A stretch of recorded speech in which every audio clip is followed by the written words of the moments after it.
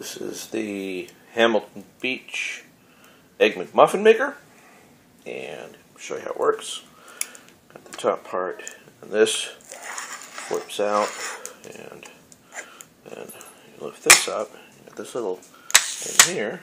Take half of an English muffin, put it in the bottom. Shh, shh.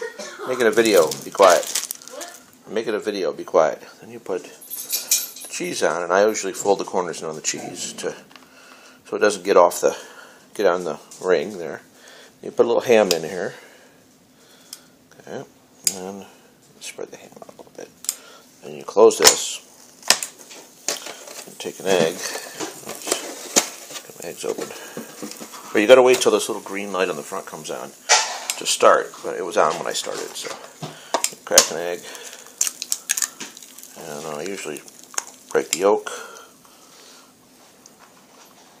Then then put the other half, you just put it right on top of here.